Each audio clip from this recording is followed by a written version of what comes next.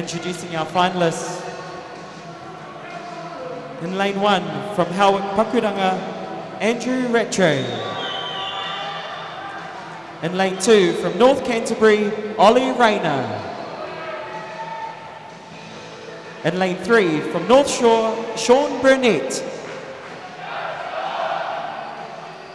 In lane four, from Capital, Lewis Clareburt. In lane five, from North Shore, Wilrich Coetzee. In lane six, from Greerton, Lachlan O'Connor. In lane seven, from Wharenui, William Campbell. And in lane eight, from Capital, Atakura Julian.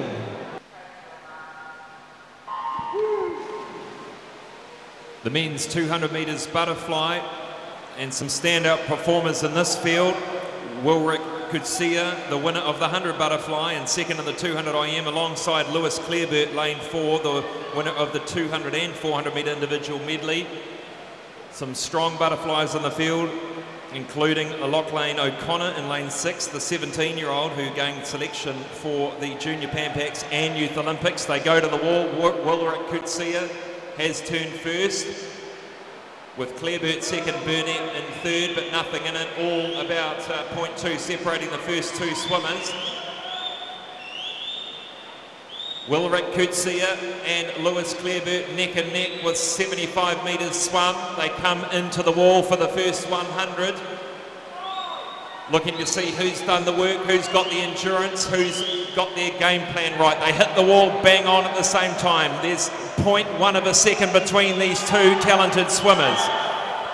A Pan Pacific qualifying time of 157.28 is what these swimmers will be looking for. And a big, loud supporting crowd here at the Sir Owen Glenn National Aquatic Centre. 60 metres left to swim as they come into the third turn. We look down, there's still nothing in it between these two swimmers. Wilrich Coetzee has, no, it is Clareburt by seven one hundredths of a second. It's going to come down to the final 50. It's Wellington versus Auckland. Wilrich Coetzee is starting to tire a little bit. Lewis Clareburt starting to push through in the final 20 metres of this 200 metres butterfly. Lewis Clareburt showing his class with five metres left to swim. What a fantastic final 25s for Lewis Clareburt, a class act. And qualification, no, just missing out. The qualification of 157.28. Wilrich Coetzee goes under the two minute mark at 159.04 and Sean Burnett also under the two minutes. Very, very happy with that indeed. Congratulations to the men in the 200 metres butterfly.